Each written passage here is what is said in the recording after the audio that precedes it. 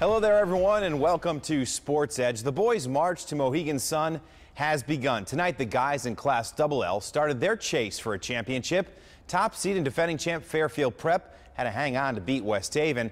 There was quite the battle in New Haven tonight as well. 26 seed Hartford Public came to play against number 7 Wilbur Cross, who without Robert Durant for most of the game. He rolled his ankle in the first quarter. The Owls didn't make it easy on the home team. Demarius McKnight the junior guard helping Hartford Public go up eight at the half. Second half, the lead starts to dwindle, but McKnight helps his team stay out in front late in the game.